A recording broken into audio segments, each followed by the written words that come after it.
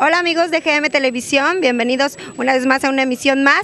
Estamos ahora en exclusiva con la diputada ya electa del Distrito 18, la licenciada Ángela Hernández. ¿Cómo se siente después de haber recibido la constancia de mayoría?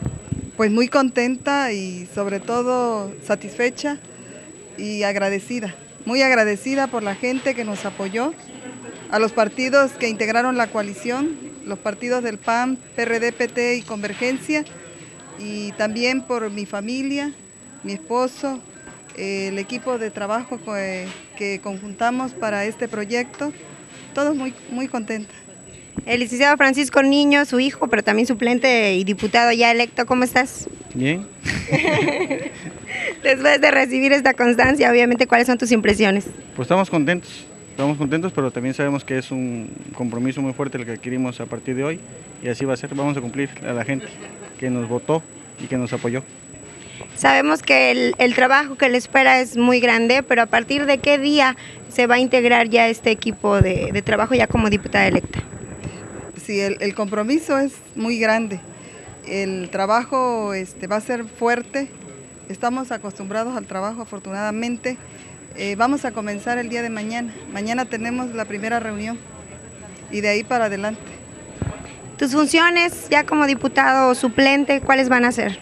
Pues vamos a ser vigilantes de que las promesas de campaña se cumplan. Eh, nosotros estamos muy apegados a lo que el licenciado Gavino propuso en todo el estado y sobre todo en estos compromisos que hizo en la cuenca.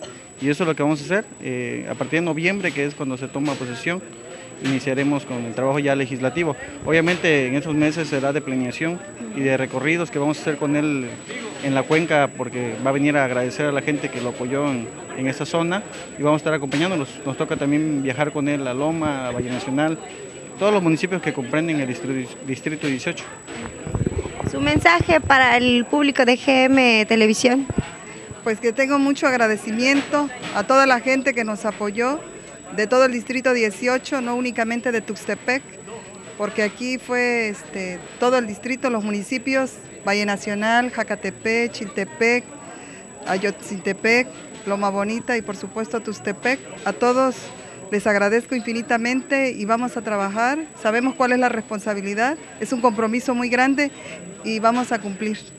Ah, Paco Niño, tu compromiso con el público de GM Noticias. Eh, pues agradecerles a toda la gente que nos ve por internet, este, que, tengan bien sabidos que vamos a apoyar a toda la gente que nos apoyó y a la que no apoyó también, porque somos diputados para todos a partir de noviembre. Okay. Gracias. Para GM Noticias, Aisleta Alcocer.